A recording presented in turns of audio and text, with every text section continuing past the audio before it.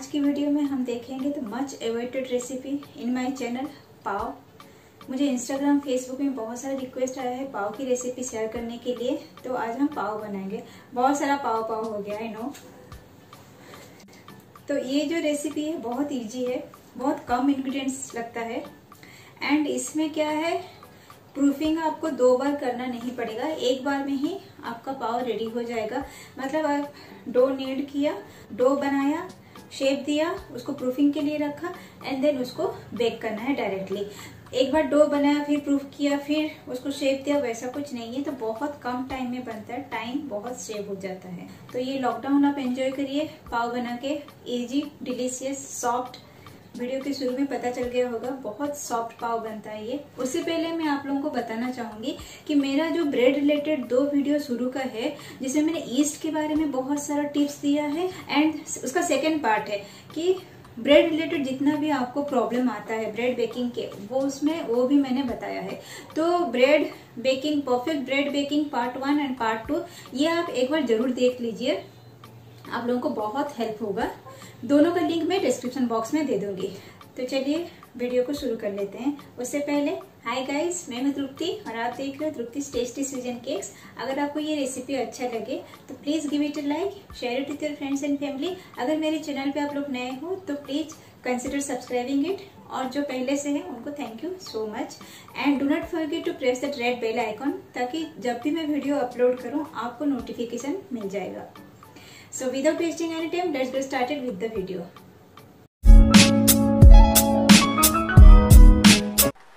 लादी पाव बनाने के लिए हमें जो इंग्रेडिएंट्स की ज़रूरत है वो है मैदा है 250 ग्राम्स मिल्क पाउडर है three tablespoon milk powder optional है आप चाहो तो ऐड कर सकते हो नहीं तो इसको स्किप भी कर सकते हो बटर है थ्री टीस्पून बटर की जगह पे आप कोई भी ऑयल यूज़ कर सकते हो इवन ऑलिव ऑयल भी आप यूज़ कर सकते हो शुगर चाहिए थ्री टीस्पून शुगर की जगह पे आप हनी भी यूज़ कर सकते हो. देन आपका ईस्ट चाहिए. ये इंस्टेंट एक्टिव ड्राई ईस्ट है. ये चाहिए टू टीस्पून सॉल्ट चाहिए वन टीस्पून डो बनाने के लिए चाहिए मिल्क ये मैंने थ्री फोर्थ कप लिया है। मिल्क की क्वांटिटी ये आपके डो के ऊपर डिपेंड करता है। थोड़ा ज़्यादा भी लग सकता है, थोड़ा कम भी लग सकता है। मैंने लेकिन थ्री फोर्थ कप लिया है। अगर और चाहिए होगा तो फिर और थोड़ा ऐड करेंगे। इसको हमेशा स्लोली ऐड करना होता है। अगर मैं ईस्ट के बारे में बोलने जाऊँ, फ्रेश ईस्ट कैसे यूज़ करना है, ड्राई ईस्ट कैसे यूज़ करना है, इंस्टेंट एक्टिव ड्राई ईस्ट कैसे यूज़ करना है, इसके ऊपर एक एक्सक्लूसिव वीडियो मेरे चैनल पे ऑलरेडी है तो वो लिंक मैं डिस्क्रिप्शन बॉक्स में दे दूँगी, आप लोग वो देख सकते हो। तो मैंने यहाँ पे इंस्टेंट एक्टिव ड्राई ईस्ट लिया है। तो चलिए शुरू करते हैं, पाव बनाना। सबसे पहले क्या करना है, एक बेकिंग पैन में रेडी करूँगी। उसके लिए क्या करना है, एक seven by nine rectangular pan मैंने लिया है और इसको बहुत अच्छे से आपको बटर से ग्रीस करना है। बहुत अच्छे से आपको चारों तरफ़ से बटर लगाना है। इससे क्या होगा? आपका पाव नीचे स्टिक नहीं होगा और बहुत अच्छे से बेक होने के बाद निकल आएगा। ठीक है? तो ऐसे एक पैन रेडी कर लेना है। चलिए अभी नेक्स्ट प्रोसीजर देखते हैं। सबसे पहले ड्राई इंग्रेडिएंट्स को एक बार सीव कर लेते हैं। तो इसमें सीव जो करना है वो है मैदा और उसके साथ मिल्क पाउडर ये दोनों चीज़ को सीव करना है। तो मैदा में अगर कुछ भी इम्प्योरिटी होगा, वो निकल जाएगा। अब नेक्स्ट क्या करना है? आप ऐसे एक एक स्पेस बनाइए नीचे और उसमें आपको शुगर ऐड करना है और ईस्ट ऐड करना है। सॉल्ट है, उसको आपको साइड में देना है। सॉल्ट क्यों साइड में देना होता है? ये आप, वो वीडियो मेरा ईस्ट रिलेटेड जो वीडियो है, उसमें आप देखोगे तो उसमें अब मैंने पूरा एक्सप्लेन किया है सॉल्ट क्यों साइड में ऐड करना होता है। अब क्या करना है? थोड़ा सा मिल्क अंदर जो स्पेस बनाया है, उसमें डालना है और इसको आपको मिक्स करना है। ये मिल्क मेरा रूम टेम्परेचर में था, कुछ भी वार्म या कुछ भी नहीं है नॉर्मल रूम टेम्परेचर मिल्क है। अब जैसे ही इसमें दूध ऐड करोगे अब देखोगे ईस्ट मेरा फ्रॉती हो रहा है। इसका मतलब क्या है? मेरा ईस्ट सही है मतलब एक्टिव है, ये यूज़ करने लायक है, ठीक है? अब इसको हम लोग एक डो बनाएँगे धीरे धीरे मिक्स करके। मिल्क हमेशा स्लोली आप ऐड करो। मिल्क की जगह पे आप पानी भी ले सकते हो। वेजिटेबल जूस यूज़ करके भी आप पाव बना सकते हो। बीट रूट और पालक यूज़ करके भी आप ब्रेड बना सकते हो। उसका वीडियो भी मेरे चैनल पे है। उसका लिंक भी मैं डिस्क्रिप्शन बॉक्स में दे दूँगी। आप लोग चेक कर लेना। अब जैसे ये थोड़ा सा मिक्स हो गया। अब क्या करना है? आपको हाथ का यूज़ करना पड़ेगा। एक सॉफ्ट डो आपको बनाना है। मैंने थ्री फोर्थ कप मिल्क लिया था पहले नीड करने के लिए तो वो पूरा यूज़ हुआ। अब मैंने और वन फोर्थ कप मिल्क लिया है। इसको अभी थोड़ा थोड़ा डाल के नीड करेंगे। देख सकते हो आप, ये कितना स्टिकी डो है। तो ऐसे ही आपको स्टिकी डो चाहिए। एक बार डो अच्छे से बनने के बाद इसको हम लोग नीड करेंगे। नीड करने के लिए stretch and fold method use करना है। स्ट्रेच करना है देन फोल्ड करना है। ये मेरा सिंगल प्रूफिंग पाव है। मतलब आप एक बार प्रूफ करो एंड देन बेक करने के लिए रेडी है। दो बार आपको प्रूफ करने की कुछ ज़रूरत नहीं है। ठीक है? अब डो बन गया। अब इसको हम लोग नीड करेंगे। काउंटर टॉप साफ़ करके इसके ऊपर आप डो को निकाल दीजिए। अब इसको हम लोग नीड करेंगे। एक ऐसा स्क्रेपर आप रखिए साथ में और इसके हेल्प से आपको इसको नीड करना है। स्ट्रेच करना है देन फोल्ड करना है। स्ट्रेच फोल्ड ये इतना स्टिकी डो आपका होना चाहिए। मेरा पूरा वन कप मिल्क इसमें गया। तो कोई भी लिक्विड आपको धीरे धीरे ऐड करना है। एक साथ नहीं ऐड करना है डो बनाने के लिए। हार्ड डो नहीं बनेगा ब्रेड के लिए सॉफ्ट डो ही बनता है। डो पूरा नीड होने के लिए आपका कम से कम आठ से दस मिनट लगेगा। बटर अभी तक हम लोगों ने इसमें ऐड नहीं किया है। आपको डो को रोटेट करते हुए नीड करना है ताकि हर तरफ़ से आपका डो अच्छे से नीड हो जाए। मैं अगर आपको डो दिखाऊँ ना तो आप ये देख सकते हो, इसमें थोड़ा सा भी इलास्टिसिटी अभी नहीं है। दैट मीन्स इसमें ग्लूटेन फॉर्म नहीं हुआ है। इसको तब तक नीड करना है, जब तक इसमें ग्लूटेन फॉर्म नहीं हो जाए। मैं दिखाऊँगी कौन सा स्टेज तक आपको इसको नीड करना है। एक हाथ एंड में रखिए, और दूसरे हाथ से डो को आपको पुल करना होता है। ठीक है? एंड में रखिए देन स्ट्रेच करिए। देन बीच में एक बार टर्न ताकि पीछे की तरफ़ डो भी आपका अच्छे से नीड हो जाए। डो को नीड करते हुए मुझे अभी अप्रोक्सीमेटली टेन मिनट्स हो गया है। अब देख सकते हो, बहुत एक अच्छा सॉफ्ट डो मेरा रेडी हो गया है। और मेरे हाथ में भी अभी स्टिक नहीं हुआ है डो। आप देख सकते हो, ये बहुत अच्छे से अभी स्ट्रेच हो रहा है।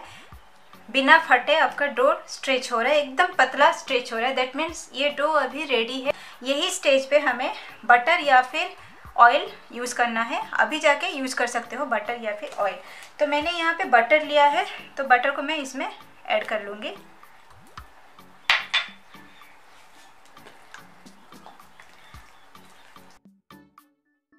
डो के सब तरफ़ बटर अच्छे से लग जाना चाहिए।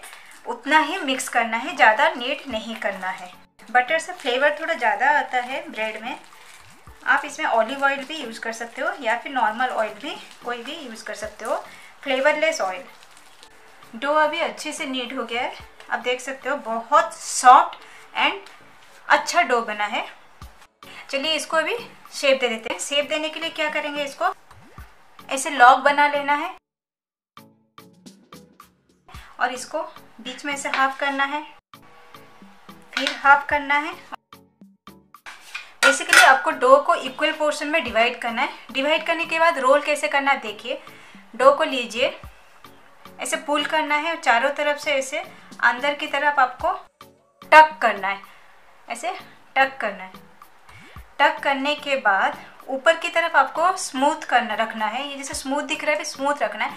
देन आपको फिंगर ऐसे रख के इसके अंदर आपको ये रोल करना होता है।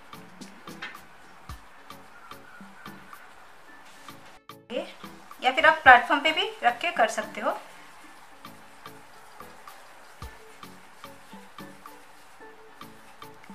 और जो साइड टकिंग किया है हम लोगों ने, वो नीचे की तरफ़ रहेगा।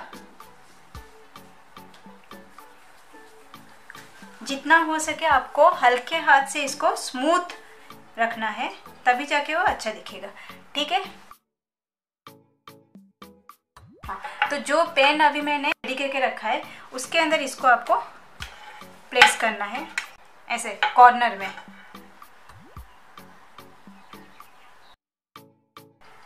मैं अभी और एक करके दिखा रही हूँ। एक लेना है डो और उसको स्ट्रेच करते हुए आपको नीचे की तरफ़ टक करना है। ऐसे टक करना है। ठीक है? ऊपर आपको स्मूथ दिख रहा है। ऐसे स्मूथ हो जाना है और नीचे की तरफ़ आपका जो टकिंग है, वो नीचे की तरफ़ ऐसे रहेगा। नीचे को आपको पाम में प्लेस करना है और देन आपके हाथ का जो ये ये स्पेस में डो को ऐसे पकड़ना है और देन इसको रोल करना है। आपको अगर हाथ में नहीं इजी हो रहा है तो आप इसको काउंटर टॉप पे भी रख के कर सकते हो। ऐसे रखिए और देन उसको स्लोली स्लोली रोटेट करिए। मुझे हाथ में इजी लगता है तो मैं हाथ में कर रही हूँ। ठीक है?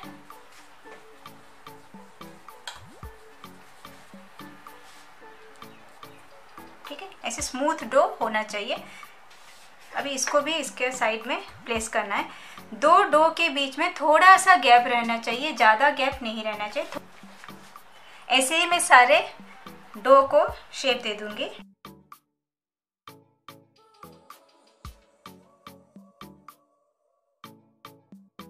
सारे बॉल्स मेरे बन के रेडी है। इसको मैं अभी कवर करूँगी और प्रूफिंग के लिए रखूँगी जब तक ये साइज़ में डबल ना हो जाए। साइज़ में डबल होने के बाद इसको हम लोग बेक करेंगे। तो पहले इसको प्रूफिंग करना है। एक ड्राई कोई भी किचन टावल ले लेना है और इसके ऊपर आपको कवर करना है। और जो भी प्लेस आपका वार्म है, वो जगह पे रखना है तो जल्दी प्रूफ हो जाएगा। अदरवाइज़ थोड़ा टाइम लगेगा। तो चलिए इसको अभी मैं प्रूफिंग के लिए रख रही हूँ। चलिए अभी पाव को चेक कर लेते हैं। साइज़ में डबल हुआ क्या नहीं? देख सकते हो आप लोग, बहुत अच्छे से साइज़ में ये डबल हो गया है। दैट मीन्स ये अभी रेडी है बेक होने के लिए। ये बेक करने के लिए मैं इसको ओ में आज बेक करने वाली हूँ। आप चाहो तो माइक्रोवेव में भी कर सकते हो। बेक मोड में बेक करना है। 200 डिग्री सेंटीग्रेड में 20 टू 25 मिनट्स। अगर माइक्रोवेव में बेक कर रहे हो तो फिर आपको इसको माइक्रोवेव के जो छोटा रेक आता है कन्वेक्शन मोड में, आपको इसको बेक करना है 200 डिग्री सेंटीग्रेड में सेम टू 20 टू 25 मिनट्स तक। बेक करने से पहले इसको मुझे भी मिल्क वॉश देना है। मिल्क वॉश के लिए क्या करना होता है थोड़ा सा दूध लीजिए और इसके ऊपर दूध आपको अप्लाई करना है। दूध अप्लाई करने से क्या होता है ना, इसके ऊपर बहुत अच्छा एक क्रस्ट आता है। और ये मॉइस्ट रहता है ड्राई नहीं होता है इसके ऊपर और कलर भी अच्छा आता है। बहुत फेदर टच में आपको ये अप्लाई करना है स्लोली आप इसको कोई भी पॉइंट में जल्दबाजी मत करिए, नहीं तो जितना भी इसके अंदर आपका प्रूफिंग हो के अच्छे से एयर इनकॉर्पोरेट हुआ है ना, वो सब निकल जाएगा और आपका जो पाव है वो फ्लैट बन जाएगा। तो चलिए मैं इसको अभी बेकिंग के लिए प्री हीटेड ओवन में रख रही हूँ। पाव अभी कम्प्लीटली बेक हो गया है। आप देख सकते हो, बहुत अच्छे से इसके ऊपर क्रस्ट आया है। 25 मिनट्स मुझे लगा 200 डिग्री सेंटीग्रेड में। सबका ओवन का टेम्परेचर अलग रहता है। टाइम पाँच मिनट आगे पीछे हो सकता है। तो आप टाइम अकॉर्डिंगली चूज़ करें। प्रिफरेबली एक ओवन थर्मोमीटर ज़रूर यूज़ करिए। बेक होने के बाद अब एक लास्ट स्टेप बाकी है। इसके ऊपर अभी क्या करना है? बटर अप्लाई करना है। जेनरस अमाउंट बटर आप इसके ऊपर लगाओ। इससे भी फ्लेवर एनहांस होगा साइन आएगा और इसका स्किन ड्राई नहीं होगा। नेक्स्ट क्या करना है इसको? इमीडिएटली आपको एक वायर रेक के ऊपर ट्रांसफ़र करना है। देख सकते हो कितना अच्छा पाव बना है सॉफ्ट चलिए इसका टेक्सचर भी देख लेते हैं।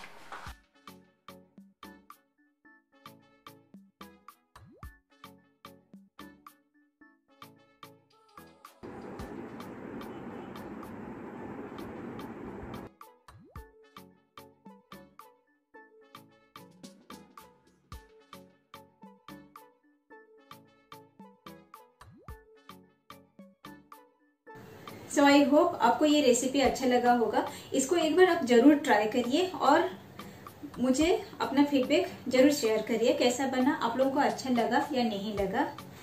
अगर अच्छा लगा हो then give it a like share to their friends and family subscribe to my channel if you are new and press the red bell icon आप लोग मुझे इंस्टाग्राम और फेसबुक पे भी फॉलो कर सकते हैं। वहाँ पे मेरा बहुत सारा छोटे छोटे रील्स आते रहते हैं। So till we meet next time bye take care spread happiness around the world